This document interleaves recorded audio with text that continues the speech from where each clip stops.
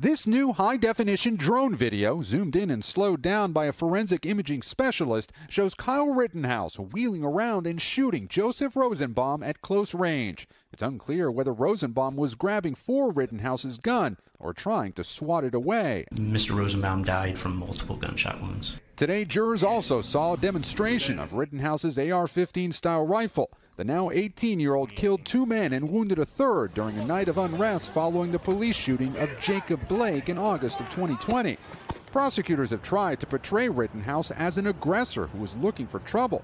But at times, especially during cross examination, the witnesses bolstered Rittenhouse's claim of self defense. It wasn't until you pointed your gun at him, advanced on him, with your gun, now your hands down, pointed at him, that he fired, right?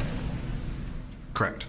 As long as the testimony about to give in this matter be the truth. Today, the defense called as its first witness a man who said he went to the protest that night at the request of the owners of a car dealership to protect the building.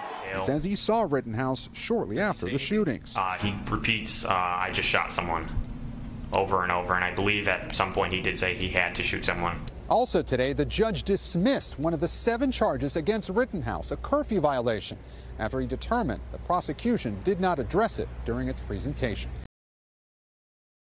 Thanks for watching our YouTube channel. Follow today's top stories and breaking news by downloading the NBC News app.